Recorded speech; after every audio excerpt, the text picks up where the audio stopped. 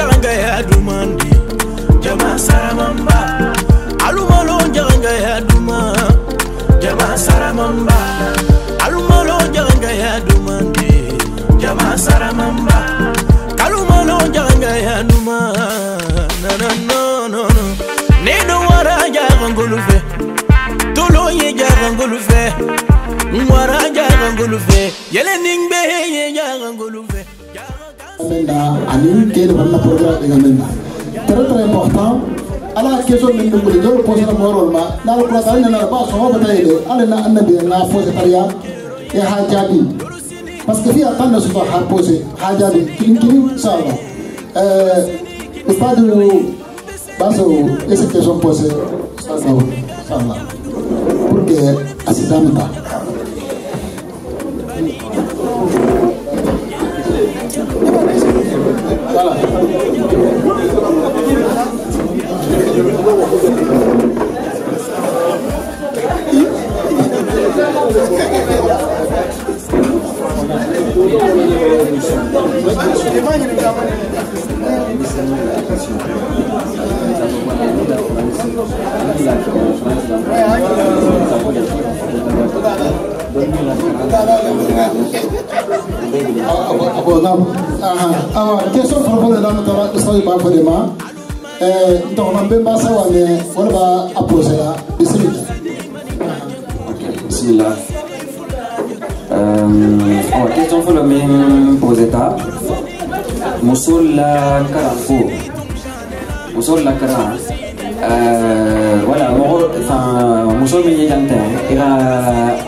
Il y ಏನಂದ್ರೆ ವಾತು ಮಿನ್ನ la possibilité de me la faire la question on poser. albe question on m'a dit ou la question muta La question le mu qui la karanko comme on na qui favorise la karanko négligé a que taille la missilme ya karantura a que la eh, français 40 mathématiques français comme on a on la karan négligé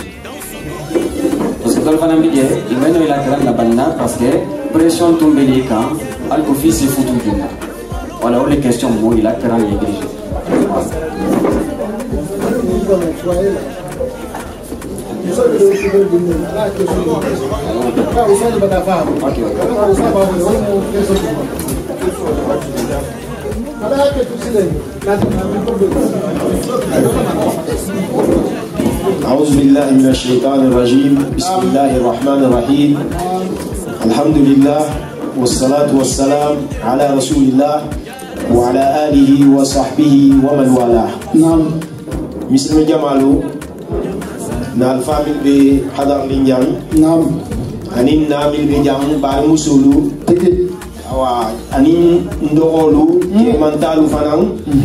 مال بي كنتنا نعم نعم بلادين وين السلام عليكم ورحمة الله تعالى وبركاته وعليكم السلام ورحمة الله وبركاته رب اشرح لي صدري ويسر لي أمري واحلل عقدة من لساني يفقه قولي آه، جنن مبي كيسيون ينجابي لفولو نعم نمو introduction dinati awa fo mbe kumin kan jan mhm. fo a si sɔniyan b'u la mhm. alhamdulilahi rabbil alamin ɛɛ gurupu kɛn dɔ ye eh, mɛ mo jakspora ti i ka alifa do kigi ko kana do ɲasife ye ɛɛ ilajinɔ tɔ ani baari ɲa k'olu tɔ ni lamɔgɔ k'olu tɔ donc ila baro wo a objectif min ti fo e se ñaatu taxu ñe ñamin na e se koolu faxaamu ñamin na nte sa fo n kuela baaro ñin moxo seno ñin calcule mun na moxo sen calcule comme réforme mhm. puisque réforme mun ti i se ñaatu taxu sito ñamin na réforme mun ti xa ne xa tara ko do be keerin mhm. ko ñin mhm. kuñuma lemu bari i mɛ kun ɲuman ye tiɲa de i se nin kun ɲuman ye améliorer ɲaamin na mhm. a avancer a kuŋo do le m'o ti mhm. réforme kuŋo do muŋ fana ti i ka ne i k'a tara ku do be kɛri mhm. bari koo ɲi eh, a man kan kɛlɛsinɛ ou bien kɛɲalu be je minnu eh, man kan kɛla i si o tɔ bɛ ɲaamin na ka a réformer ala ko ɲaamin na a se bɛ ɲaamin na donc wo wo mu kune ti mhm. nation bɛɛ ka kanɛga sɔn a ma ni lafitɛga ɲa tɔgɔ je réforme kɛta kila b'alu a kɛte la mission ne ti mhm. kila min bɛ kita a bɛɛ la mission kɛta réforme ne ti mhm. eh, ni ka kuran eh, kɔrɔ le sa eh, seyidina shuaib a ka mun fɔ a n'a ka mɔgɔw tema tuma min na a ka kila y'a ɲasi fɛ yen akala tana la konya sifiye akumo la ba minto ako ko in uridu illa al islaha mastata'tu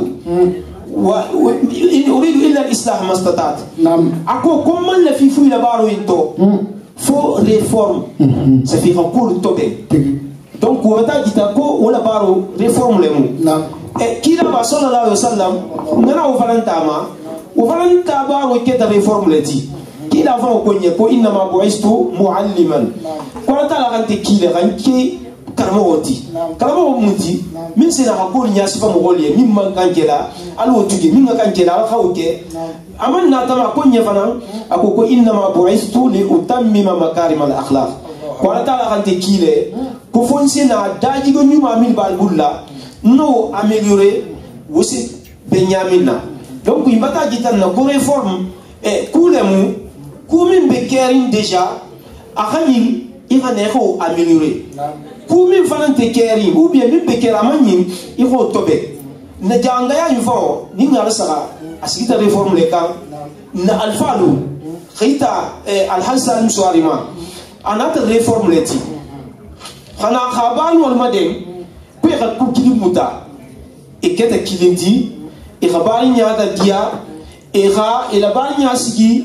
Eh, misili min y'a kan i e ka sigi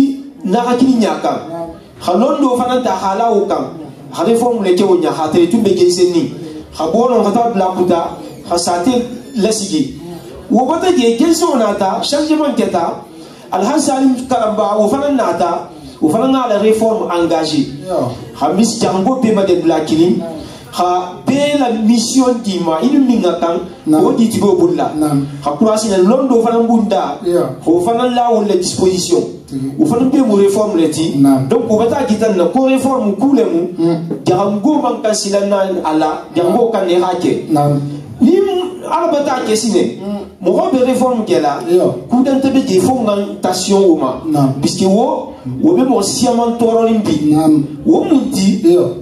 i bɛ réforme i b'a kɛ ni y'a di i b'a kɛ ni y'a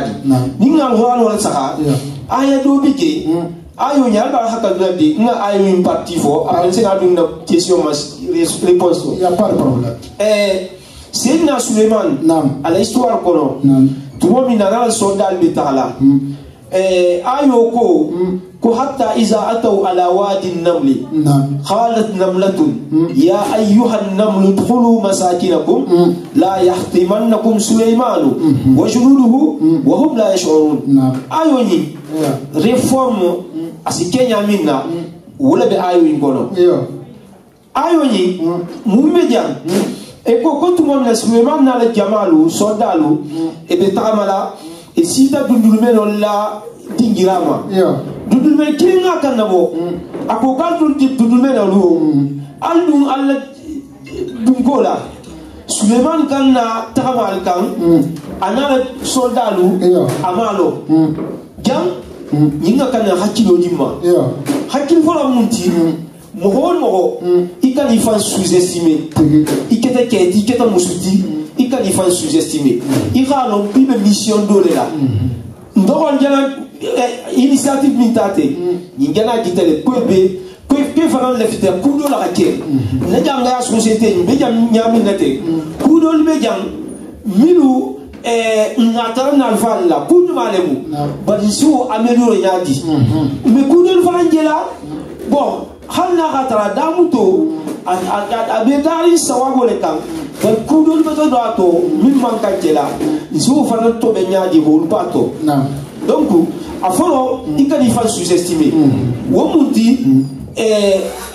qalat namlatu dundunminɛ kelen k'a ka nabɔ donc o bɛ taa jita mɔgɔ bɛ kuwo nin tɔ e eh, ka initiative ta ɛɛ a fila ɲɔgɔn point fila ɲɔgɔn mun ti ɛɛ o mun nati ɛɛ intérêt général. Mm.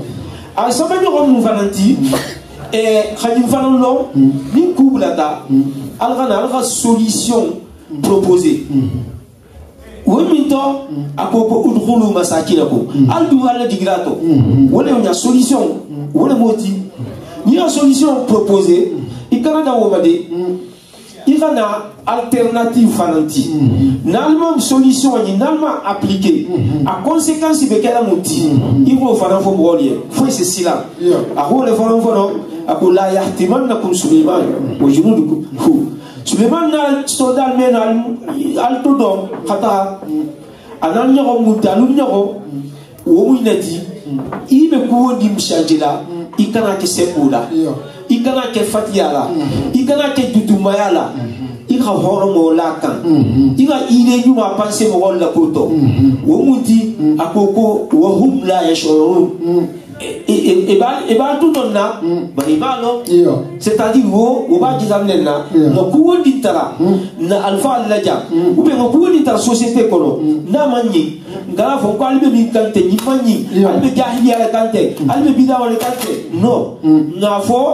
a n bɛ taa jali bɛ kudo tɔ bari ntɔlɔka min yɛrɛ kuji b'ale ma ci lasigi o b'ale yɛrɛ fana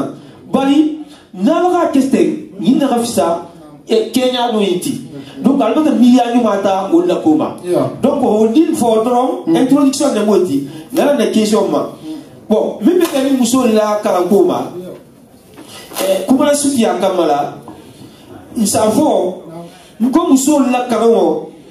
ɛɛ k'i ta jafi kafi misi min y'a fɔ o ma na valeur ma di muso fɔ o ma muso ta o ta dɛ. wanabaki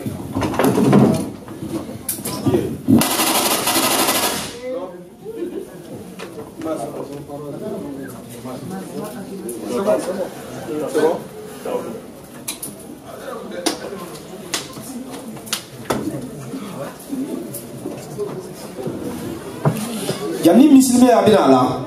jahiya tubɔ muso valɛr tun t'a la muso tun tɛ dɛ comme marchandise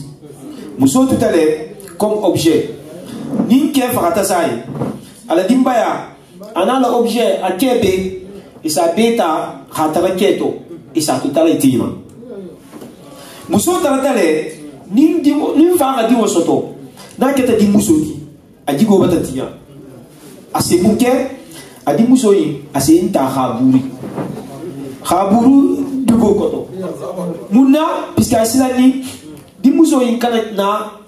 eh, fongo tɛ a kan to gwɛlɛya tɔɔrɔ ani maliya sa b'o la sedi wata k'a bolo ani fana nin fana bɛ tɔɔrɔ ni muso lako dɔ cɛ min se n'a la ka muso ta k'a kɛ sago di fongo tigi voilà misiri y'a n'a nɔ si dɛ misiri y'a ka muso a ka valeur d'a ma kɛ tun tɛ muso la misiri y'a ko ko kɛ ba muso ba ale bɛ ka kan kɛ sɔrɔ dɛ lirijali nasibun mimma taraka alwalidani wal akhrabun walinisai nasibun mimma taraka alwalidani wal akhrabun ko ko musolu kɛlu ni ila alfa alfata ina ne baba u ye baaru wal fata wol kɛ i ka kan naga dido sotato muso fana ni a fa n'a na a baba fata a n'a lamɔgɔlu wolke akandaka ndigi do soto ye jandi misili yaga otun tato ba misili yaga nde instauré misili ya tugun a ko ko muso ka karam a man dan différence la kɛ ni muso la karamɔ la a ko ko tɔlabula kila a ko sallallahu alaihi wasallam tɔlabula ilmi faridatun ala kulli muslim ko lɔnni ɲini wɔ fari dɔ de mu misilimɔ bɛ kan a ma distingue a ma fɔ kɛ ou bien muso a bɛ bɛ taabolo le tɔ. donc wo bɛ taa jita ko kalan o misiri bɛ yan kan wa a ka valeur di musow ma bari mun n'a tɛ kɛ tago bɛ kɛlɛ ɲagami na k'olu bɛ mafali n'o y'ale mɔgɔw la ka muso i ka dɔ bɔ a titiri la dɔw la ka musow kɛ ko musow kɛfanw bɛ min ti musow ka kan ɲaga tuubu la musow man kan kalan na musow man kan baara la o kɛta jaganko dɔrɔn tɛ di nin mundasiɔn b'e la e fɛ le ten a taara b'olu ma ka na tolu fana ma nin taara t'e la ko tɔ dɛ bari n bɛ min fɔ la ntolu jaganko la ko tɔ bɔn n tɛ bɛ min fɔ la e ko n ka kuma fɔ n y'a min na nin ye ka kow de min man bɛn e ka miiriya ɲuman ta mɔgɔw la ko tɔ min b'a kɛ la i kana fɔ ko ɲulu bɛ yen kɛla lɛ puisque jahiliya lɛ mun ou bien ɲulu bɛ yen kɛlɛ lɛ puisque e ma kun ye muso tɔ. xamna eh, xa taxatata ke wuña mais tolkana lano nsafo nkonixa fata fi eh, bo bikmana jaxangol lema nixa jaxangol la saxa musol la karanwo dina karanwo ani londi eh, fonko karanwo duniya karanwo man importance ba tara kan fɔlɔ tɔ fɔlɔ tɔ mun na a cause dɔ mun di ɛɛ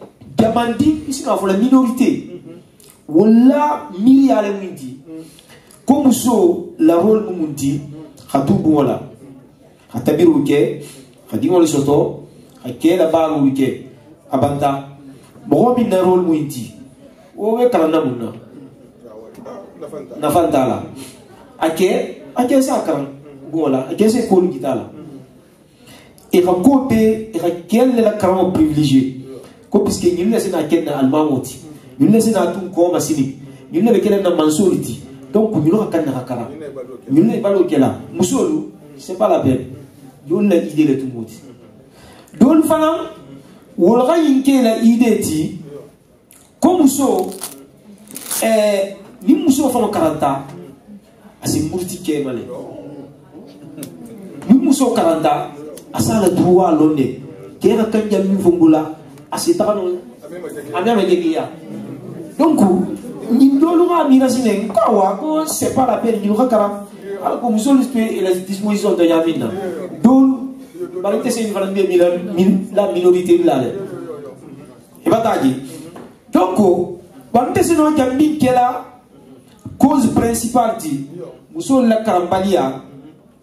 eh problème économique le mo moyen tanya muna puisque fɔlɔ tɔ k'olu tun tɛ bɛn de ɛɛ i se kɛ b'a gɛlɛ sa ye denbaya b'a wuli o ma musolu bali ko e bɛ sora ni o min kalan na i ma wolo i ka sora i bɛ se k'olu kɛ i wolo dɛ fo i sin o sali ka ɲagami na bɔn ɛɛ hali o fana kɔ la nka i bɛ mɛn dɛ ko maa maa dɔw tun bɛ kɛ olu.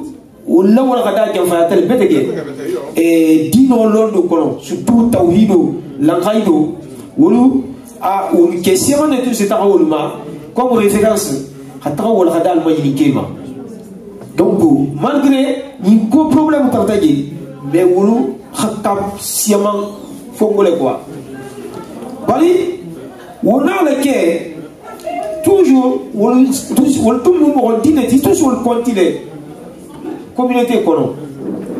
hanjali ni musow lakalan o réforme b'a bɛ na a la réforme b'a kɛ n'a bɛ taa tuma jumɛn si de c'est dans les années quarante n karamɔgɔ valija a bɔr'o tuba kalanni la n ta ka jura kɛ b'a ya ani sénégalais nu ani mauritaniens nu fana kafuta o ka expérience dɔ d'a ma a ko la a la expérience dɔw kan hali ko ɲa min na a si karamɔgɔ évoluer ɲa min na. anata évolution siyamanda dun karanwo kɔli la arabukan fɔ ye ani fana arabu karanwo kurana karanwo se évolué ɲamin na ani fana musow la karanwo a ka sɛnbɛ b'a dun ɲin na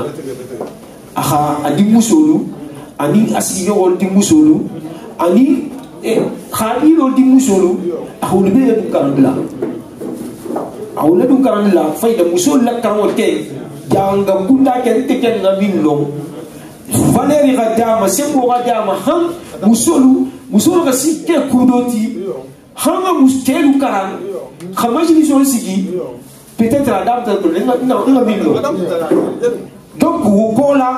hanga na bula bi alhamdulillah sans changement c'est mon batake mogol bata avancer ibata ko nyaage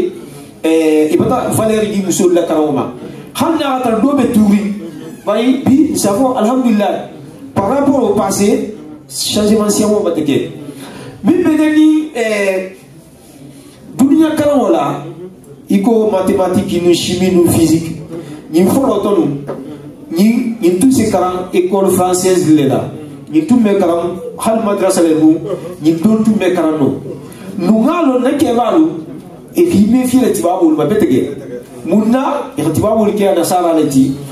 nasara wolo mission dɔ ah, le bɛ bolo la i ka na ka na mayɛlɛma hakili dɔ ladon bɔ tɔ min sen bɔ na di dɔ tɔ donc i siranta fɔ mɔ i di kɛlu k'a tɛ taga la école di kɛlu i siranta o la taga la école donc di kɛlu la taga bali a école ah o barrage la muso de fana man nɔ taga la surtout fana muso de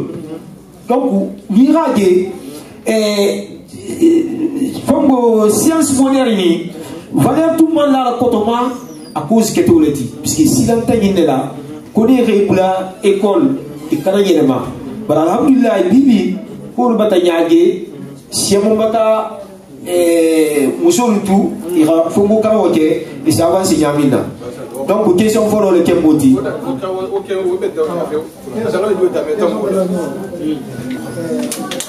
Dale, vamos. Es un plano. Ahorita voy v u e n t a Mira.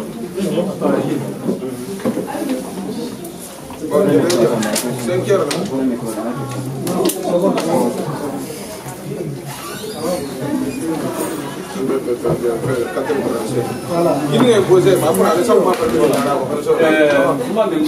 Namu. Ko ko ɲini ka o fila ɲɔgɔn. Namu. O de mun muso la fani ta ko de. fanetakoni naam wajiboluba mhm. fo farloluba mhm. fo sunnol naam bo fana konto fino bila aha eh aha d'accord eh kubi bede ni muso la fantako la lon nalu hmm? dina lon nalu hmm. imam bɛ a ko tɔ a fɔ ko tɔ ko wajibolen ba ou bien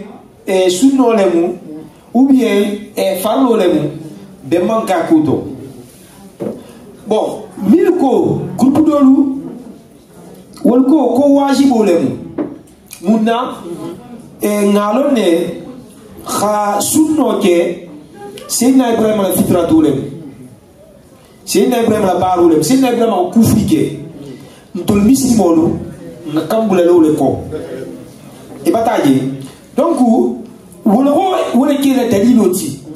ku sidina ibrahim to yana ke donc mfana nga kanne ha ke ina e tana eh, dalilo ti alquran o kono e ko ko eh, fongo ko jaminna ko eh, millata abikum ibrahim voilà ha bula albaba la millo ko silo ko albaba min keta ibrahim ti e ko ko ko o bata gitanna ko sunno ka kanne ha ke bari olu minorité le ti mɔgɔ siyaman man d'accord olu ta ma bon min bɛ kɛ ni ɛɛ hadiso kɔnɔ kɔnɔ fana ma nana nɔ k'ale saga est ce que dalili bɛ nɔ min sa kita ko muso la ɛɛ sunnɔ fanta ko fo wajibi le mu fo sunna le mu fo ɛɛ kudahari le mu hadisi saba bɛ kɛ min se a kita na min se hakili di maaw kɔ.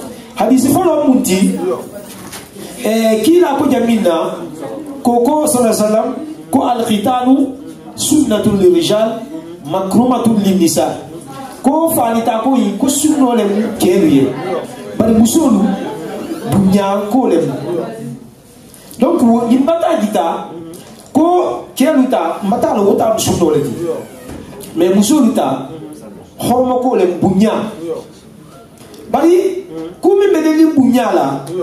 o tɛ wajibi di donc n'i m'a kɛ a ka ɲi n'i m'a kɛ baasa fana tɛ c'est que k'u da ka arinɛ quoi hmm. hmm. bari mɔgɔ n'a ta n'a fɔ ko ayo hadiso in ko hadiso in man saha ko a man saha ko parce que mɔgɔ dɔw b'a to olu donc non donc n kita ko hadiso yi nseno tuge hadisa fula ɲɔgɔn bɛ je kila wa sallallahu alaihi wasallam a ko jamin na musu dɔ tun bɛ je o tun se musolu fali ta kɛ a ko ye mm-hmm. a ko ko ashime mm-hmm. wala tanhaki a ko yi muso ye mm-hmm. kawo n'i bɛ musolu fali ta la ko ashimi c'est à dire parti bondin ta ye bondin wala tanhaji i kana be i kana dulani bebo ye donc ñin dalilo bata soto jam min bata jita ko kule mu atu se kele kila tumo atu se kele puisque no tu me kele kila amen kumo fo amen banje donc jam mogo lo fa fo ko hadiso yi ñin bata jita ko kule mu halli wajibinte bari mbataje kule kuda hari wala mi puisque musoni ama yamari de ko aha ke aha aha sino la gitala aha nyambula kotele e poko irshad lemu asike nyamina aha sino gita koto la la koto bari dole fana ko ko hadiso yi ka man saha bari kuma na tala banja minna e poko hadiso yi ko di bota la sila dola ko abi sahari lɔn na siyama fana bɛɛ t'a la sago ma hadisi sama ɲɔgɔn si dɛ nbɛrɛw la min taara in bunda tɔ kiila a ko jaabi na sallallahu alaihi wa sallam mm-hmm. mm-hmm. mm-hmm. a ko ko iza masal khitaanul khitaana fakad wajabal husul ko ni cɛɛ la parti jaabi sunnata ani muso la parti jaabi sunnata dula fulu wɔlɔ ka jɛnɛ dɛ ko ka taa jita ko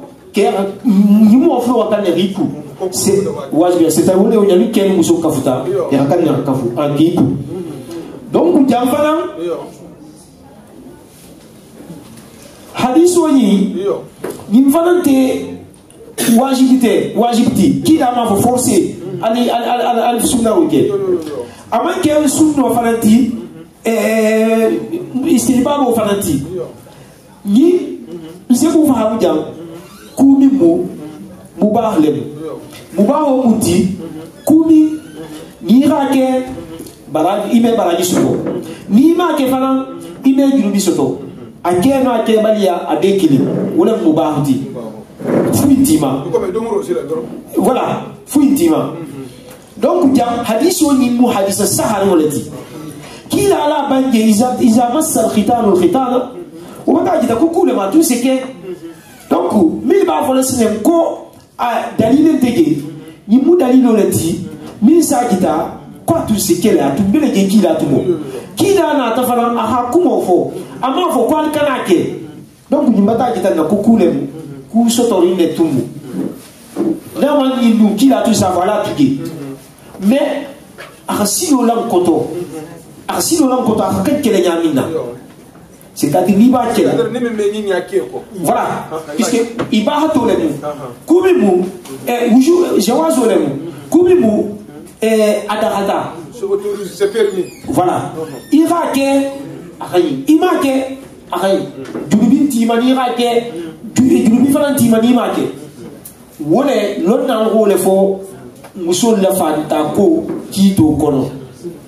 a bɛ den nin dɔn dɛ ko eh, jawa zo le mu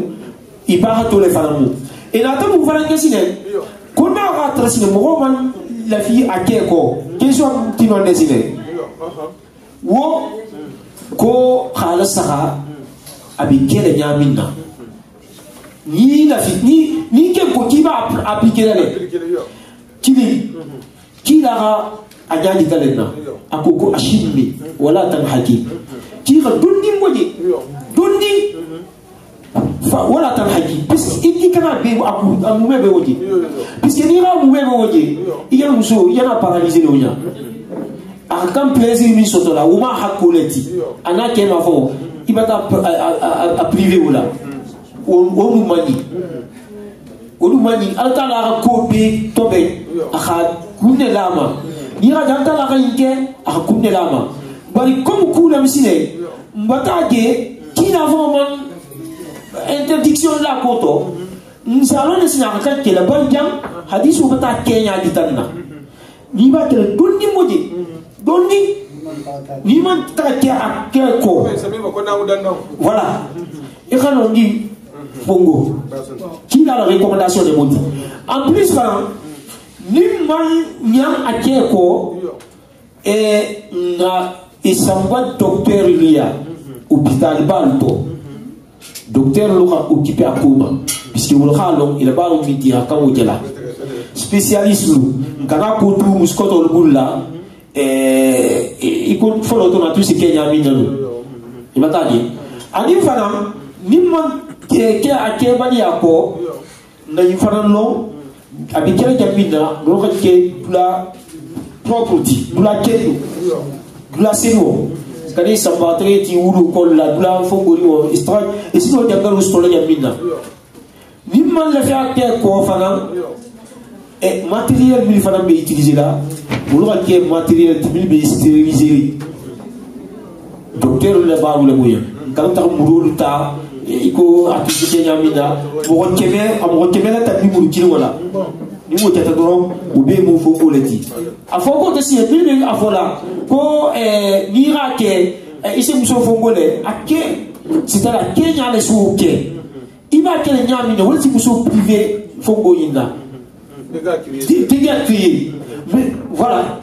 Mais à qui là Il était ce conseil, le conseil de Matisila. Il était ce conseil mm, midi. Donc, euh, euh, Madame Morola a fait mais c'est très important. Mm. Euh, parce que le Wanko de la paix, il faut à Grimbo Taboula. Ici, à Grimbo Taboula. Là, le Morsamba contre, parce que le Takan mm. a calé sur provo de Tina, à Roki la bataille, à Rokumemu, à Nahidja, à Kemedi, à Kemedi. Tendente, le Wanko de la paix apurobulemu batasiyana kunkon mm. abatatesaago ti musolu min kelema kasifaamu parce que odon bijenini kelwe kafulari seka ketu awakasi transit parce que kumoso faa fo dingira min fen min dum mintia bata wuli siyana ha bata si futuma ha tuje wala afisaba fi ha kontina kela kene na mm-hmm. monti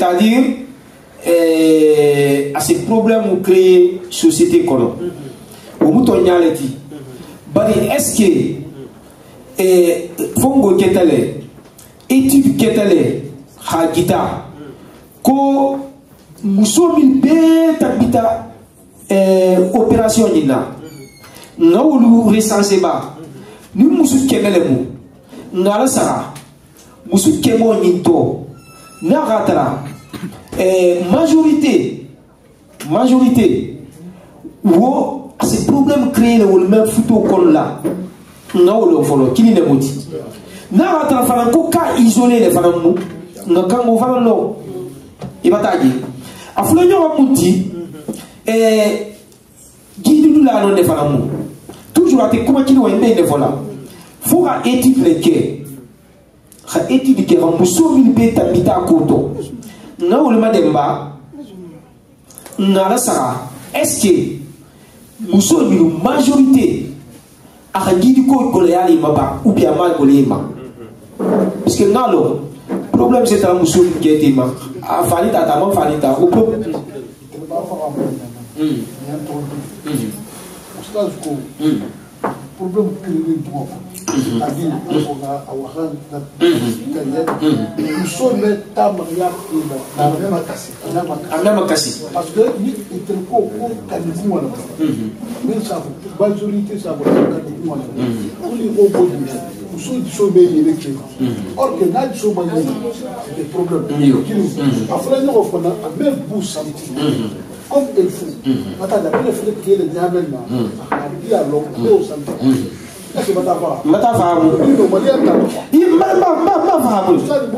b'a la question ja i réponse lɔnni ya lɔn n'o le fɔ kumaw tɔ n ko k'i la si dɔ jita le na sɔlɔ sɔlɔ k'i la ka fɔ ɲa min na ko a si min wala a ta ni haki walahi mɔgɔw ka kɛ tɛ a n na miiri o tɔ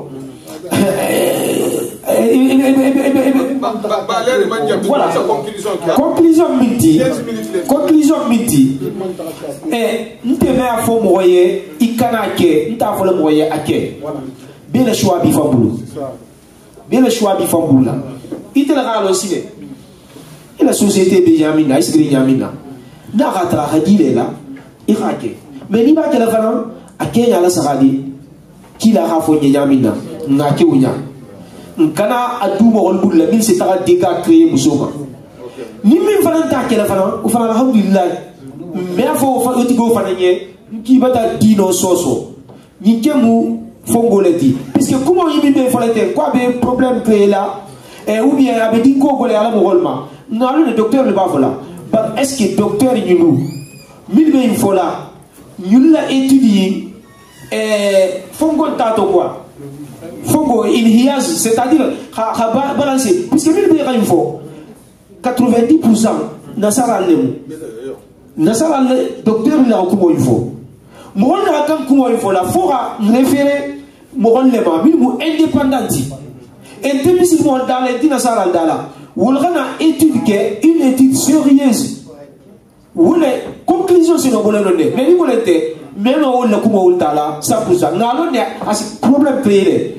mas la maioria de Sahara, il y a une qui est Voilà,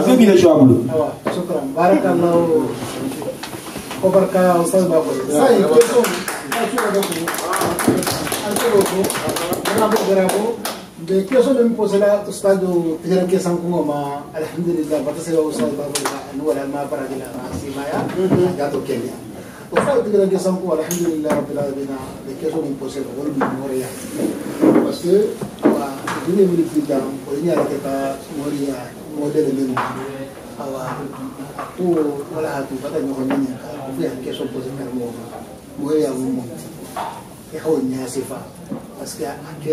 siaya di ko be ba karama ñaka mo Bismillahirrahmanirrahim wassalatu wassalamu ala rasulullah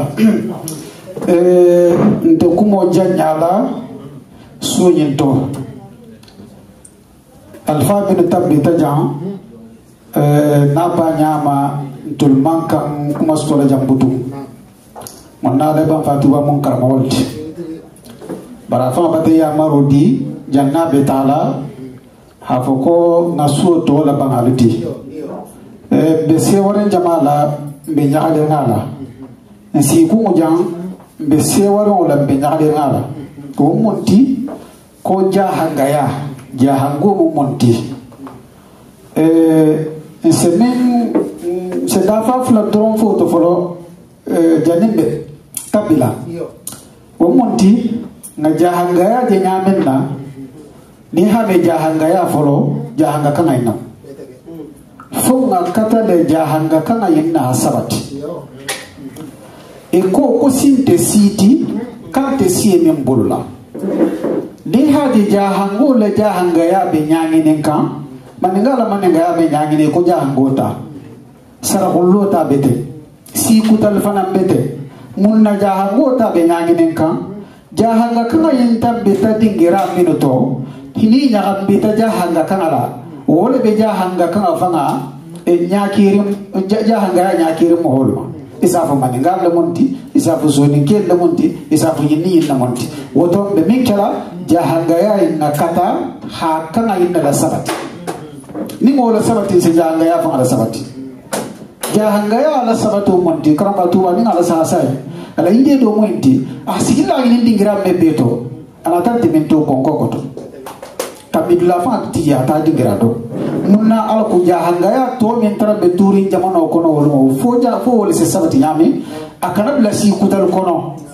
ba n'a bila tɛ si kutali kɔnɔ komi ale b'a fɔ a ye ɲaami na mansiya ni n bila tɛ si kutali kɔnɔ dɔrɔn i se dogo ni an baari yɛrɛ sa sa min bɛ e, e, futa jamana olu kan isa taara e olu siyaman bi ye ja hanga kɔntɔn siyaman bi ye ja hanga si siyaman ni ye ibatake mo kutamti donc so fo jahanga di me be ha fo jahanga kana en folonga kata jahanga kana inda la sabati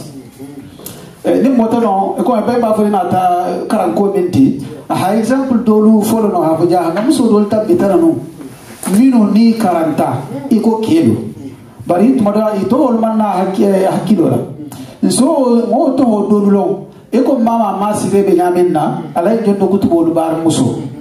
dolutinne mansamele ko tara setali bolla bulale eh, magama la aku fasato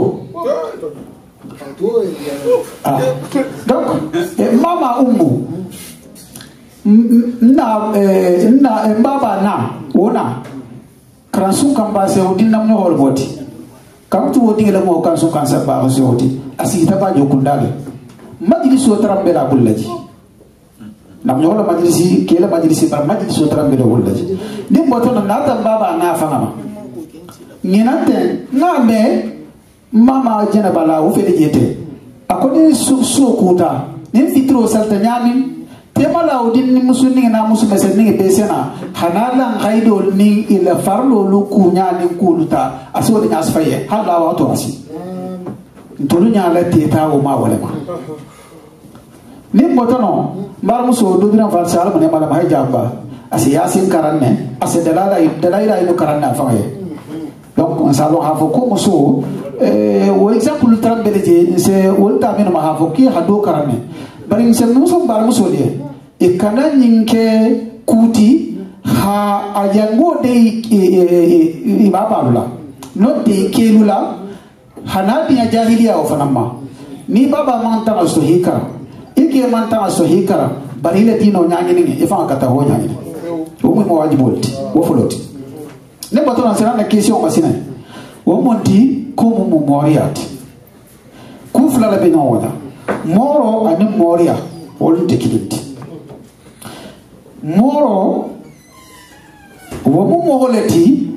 moho min akaranta dazigo nyima bala ala lɔn mɔgɔlu b'a kɔ a bɛ se ala ye n bato gulo ani n bange tɔ eh, o mɔgɔlu ni ɛɛ ile taalibu lo haaji o bulati la alqur'ana fasar kuto lotte kitabu kuta fasar oto ise kila bule ma ise taaji ni tata isi fasara al Qur'an wala ya. na hatra man se yangin na lu biji wulu satra moro biji eh, ala la mo wala mu isena nari eh, eh, moro kar sa sayin ni logo le benna ala ba fe fisa atala taranye fo atala se man se ma non ta se ma waso duwa ke duwa se jabi na la hamin fa na la ho fa nam bulo de menti waso di wono e bolo ko moro hmm. dua jaabi mɔgɔ i b'olu ma ko mɔɔrɔ wolu ɛɛ eh, wagati olu ta bi ta o bɛ ta je mɔɔrɔ olu n'a ta mɔɔrɔ olu n'a ta mɔɔrɔ olu kɛtɛ jɔn ti wolu minnu n'a hatara ha tɔgɔ dɔɔni la jarabi a t'a la tɔgɔ dɔ tɔ hali o ha fɔ n'i ha nin kɛ a t'a la sigida ko n'a tɔ keɓe musola eh, kano teya kamma non te jiidi ku kamma non te mansaya ku kamma i batala jarabi kili a keta i batala jarabi fula a keta i calabatala jarabi saba a keta i se fuɗo ta hatahe la moriya ñinna i safo lama ko moriya i safama tuhon ko talibo wolo moriya tino na tata satra ala alqur'ano babulu ala dalaila babulu ala duwada hodi wala hobe sembere ala moriya ka fayi fana belari aje ata la batulonon ne ante publicité kala asta don almamika non ta ta don do man sakan na problem tara bulu non ta problem la ta kunna non ta kudo bota nya fe hananare isa magi nana ta isa moro la kala ta sara la satra defem makanin nima asid di oke na hadi setra ne akala ha eh nita man se do ri ta halo ha eh ada dua sejati deh, ini jabi de ina jabi no lama aso dua ke, nah ho do ake setra lah ho fana na mulo be mendi o so ma moria na tana e eh, marhala do o fa na to bo ha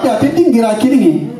firi folu nata na gamuta o watolu to munna kalabanteyade firin firin kiliyaŋalu ma faŋla o do bi je ni ka ye ko jela saha nin buwa faŋa jaabita asata ni faŋa e, mi reso e, kojubo sino tila da taa si a ye taa lo dunni bulla o dolu bi je ba hakke bata lon ha fo nin duwa te yen duwa be jaabi lama de isafa e ye woto nin duwa ti yen duwa jaabi tima ile sarala ye ɲɔgɔn da la isoo kee satara nin do a jaabita isii saraa wala a naa ta booto sinɛ a naa ta sii fo mɔrɔ mɔrɔŋ lɔ ta sinɛ o kɛta mun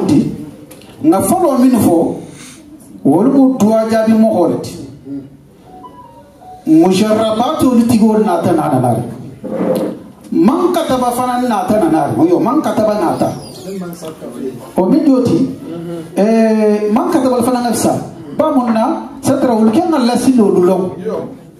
i ko ni a man kataba haza kana haza donc o b'olu bulu la olu fana ka biri ta hala mɔriya ye kan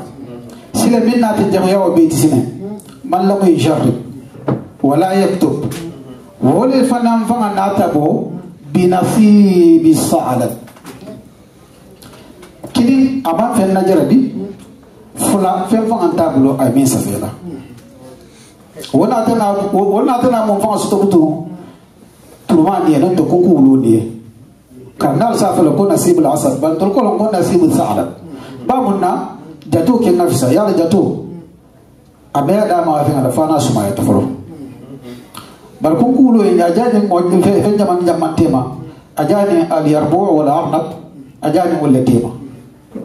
kere na hiilo feŋ o jangayi mahala la faa jane janna saafolo asenai mahala ko ɓe feŋ sutatu sanniŋe naana tafa ha a sumbu folo na tara sumankala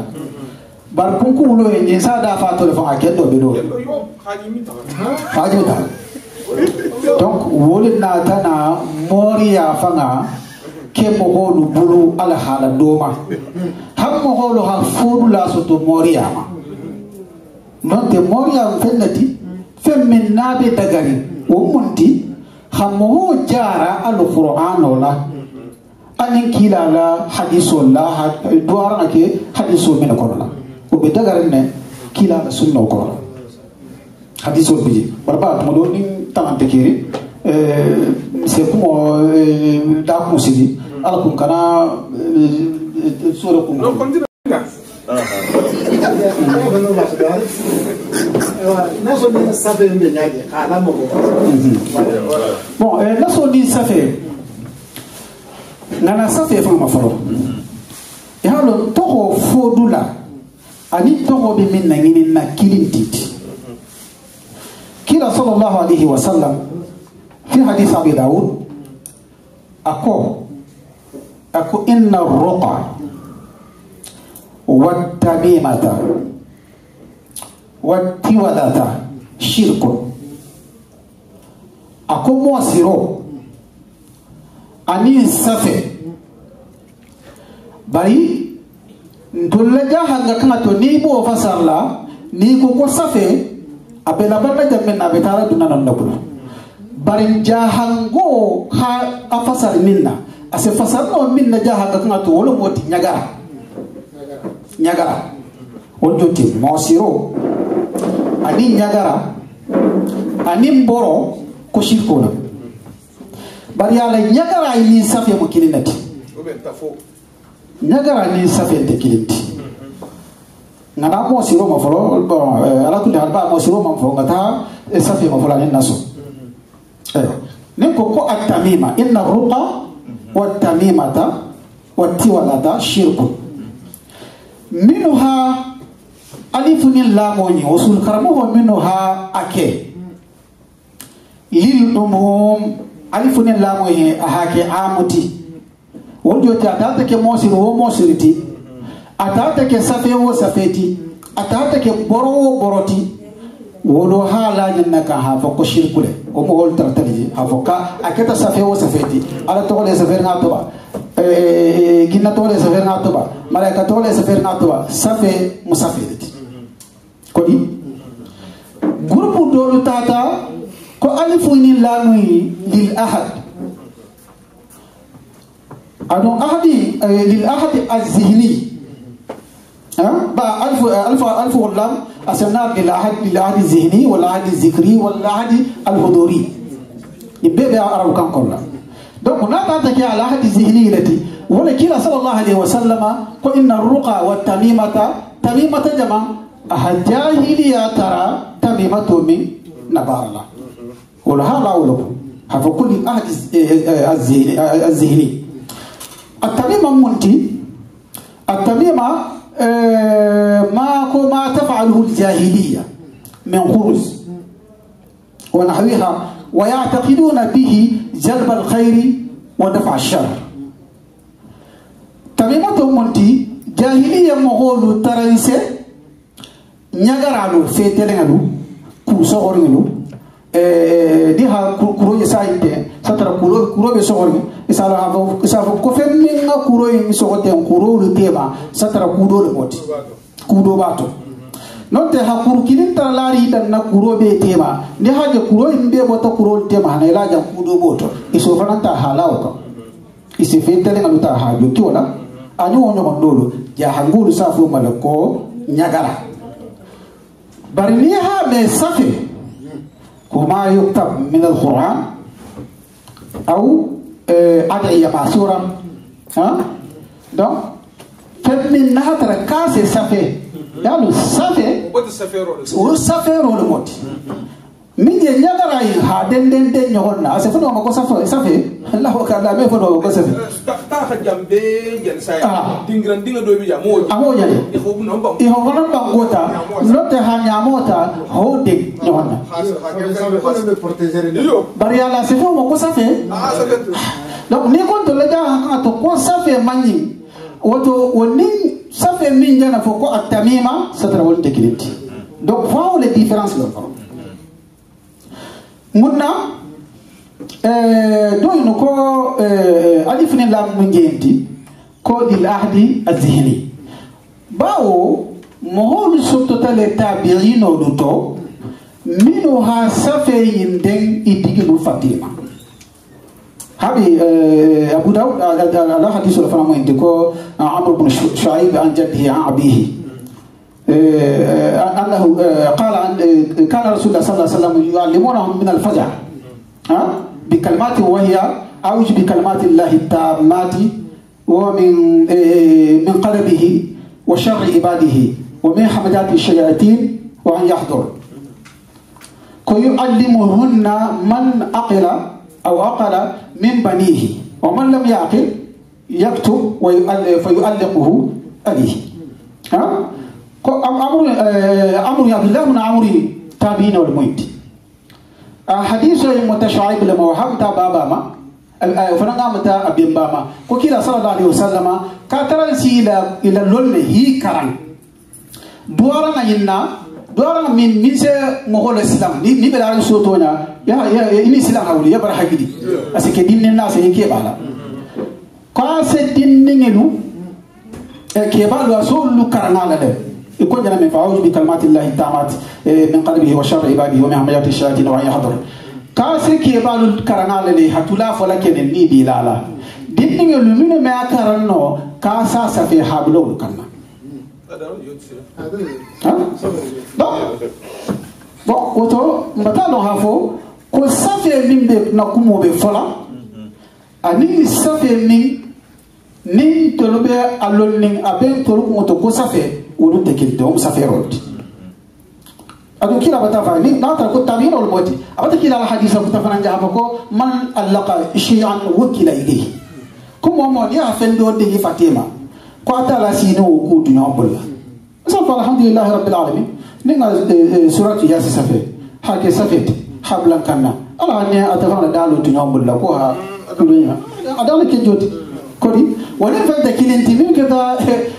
كوكتا نعراتي وبيا شيطان كود ini alal moya wotun salon hafu ko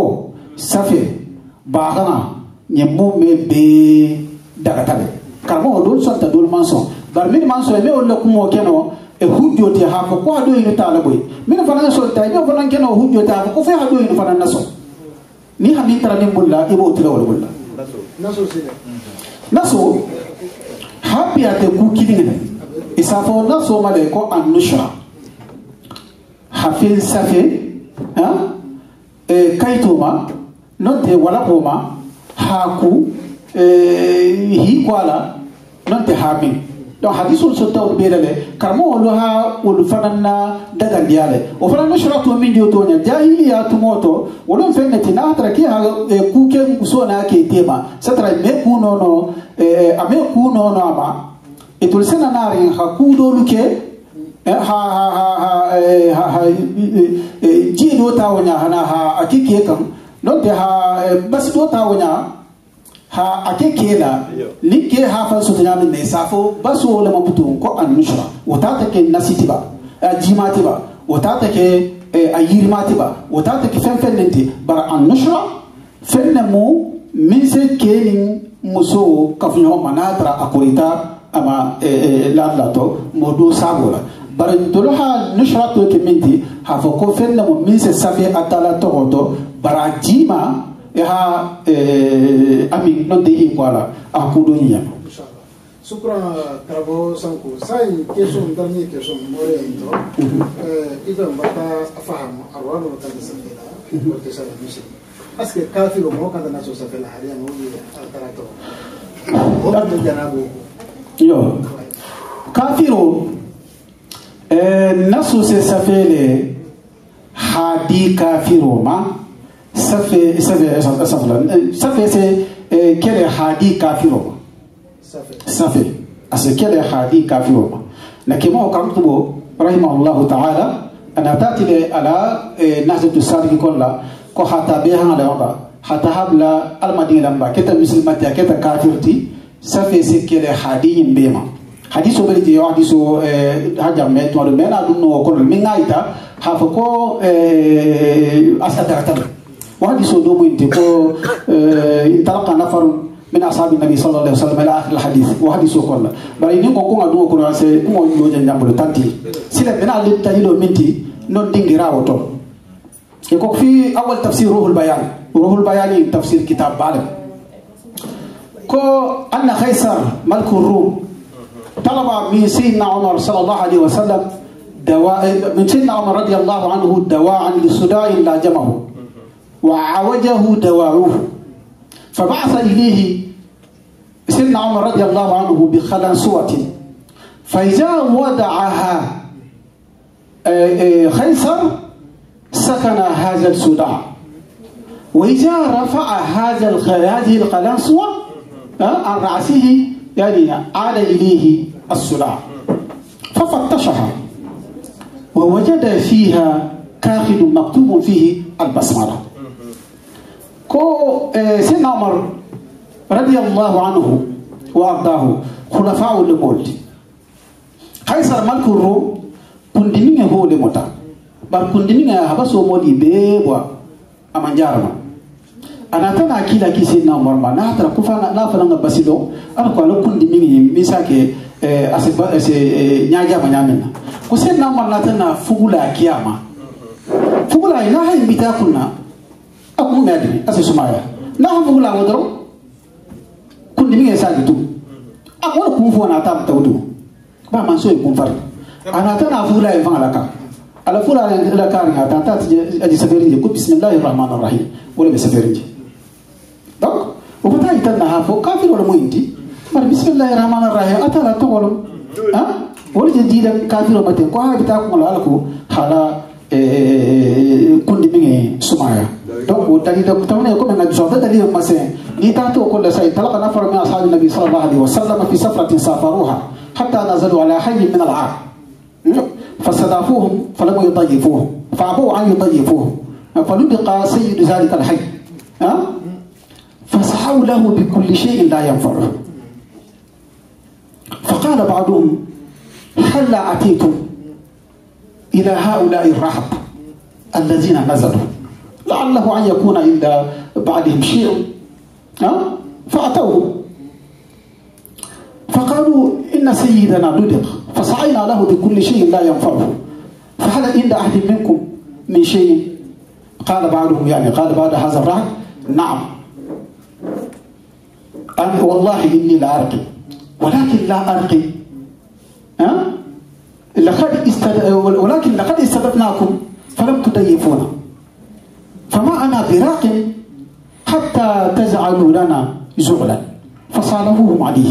ايوه من حديث فقد انه رسولكم كبل كوكيلا سيقول صلى الله عليه وسلم دول لبوتا ها اذا تتهم دول اذا ساتي بولا ساتي مغول هيبي ديالا امام سيدي ديالا دونك مولاي امام سيدي ديالا ساتر مغولو مثل ما لو يتبغي لغة يكون دول هافس النامن نبارك هذا نسو نسو لجنب المنا كلا ها كرم الضيافة والجود أهو تلا رجلا هل نهترى إنتا كيكا اكي ما برا هو ترلل نتا دا طرف ابن عبد الله وسلم أكو ومعنا بحلال التلاعي مخافة ولست بحلال التلاعي مخافة ولكن متى يسترتد القوم أرفدي أكون تنبانك فلون كون سيجلاتي ما تان سيج فلون كون كان هافوكو سلام على كمالا آه وانت ما لو لي فنا ما هافوكو باقي ليا لو فنانتي na la wuli en kamala ala ko nginen kana so nginen kana gole yamo gol bulla min be tala kele to na se je min min tan da fana mo se eh adema donc in ko hata mo tayiru kila hata le holta fonni sire balde modde bon salo ha fo ñino fen fen titi fo kafirol bar mon natake kabri himay jigi ala donc ile buntalo hila e, kuntigo sati kuntigo donc hakku moni be ka ala ko fo buntalo kunay fo yesa ba ñamenna bari femma ima ma ñajama e e do la ta fo yesa ba hakkile ma be jama be to ko ko sa be ñamena hum jama bin na tawnya alme tawul fanan kun fele tumundu satara mo do bije mo mamo o mo gialo ila tana na butumo faida e ha fo yakun na ke ba faida ko e butalo bata bari faida ko manya ja ama do bije uto na ta fo e ko a konte ke mo sir lala mun tide in sai mo siro kede barban dum bata lu in fata ta fa de kalu ho jigiyal man son jigiyala woto ntalu in timfante na mo siro kela fo na la hafendo fo fo ale mendida kodi donc ina ta fo fasalahum ala kati eginal kana ema boyan ko bawoto saha groupe do ɓe ɗol ko hadise ɗol ko ko saha bi saba ina tana ben woto banno kumo ɓe jammin na ginina no mbutu min tar saye min nayin ke kafiroti bambatalo ha fo arabolu mo holla ɓoyti karamo diyafa bilade min tana himɓe milon isi jigiya i hiiloye milon isdol odol bi ye ne mo killing din bi ni atala te mai fala hadi don tanai ma ala ko ni na to di ma ata nyame kila sallallahu alaihi wasallam tana ren ka me ko nya mo mi bul ko fa be bo bulu hi fa to sigi nya ko to ko doron kamma wala ke ko eh, inna ma bu asu li utammi ma karim al akhlaq ko be ba fa da ita nyame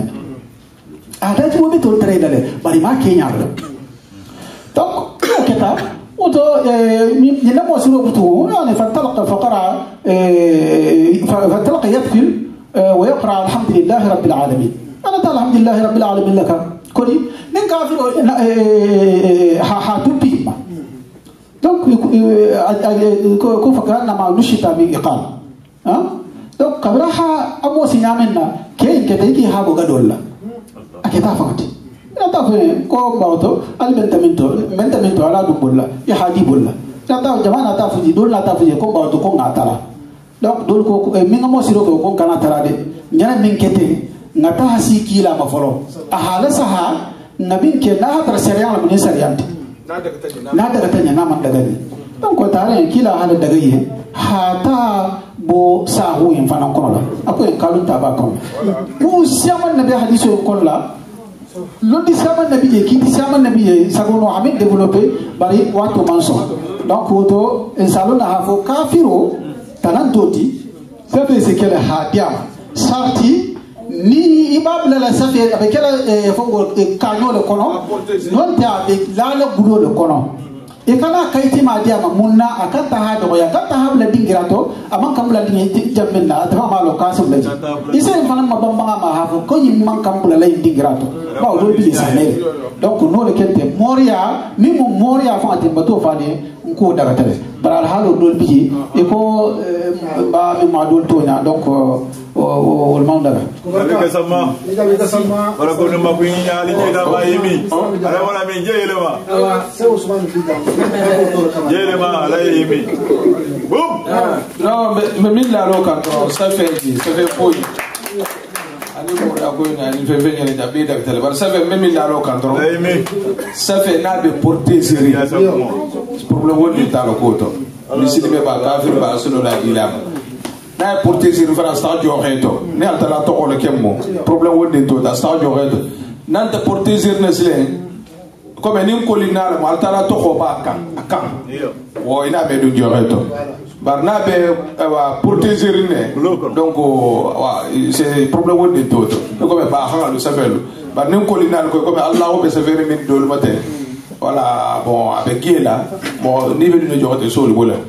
C'est le dernier mot war c'est le la mot. oh wa salam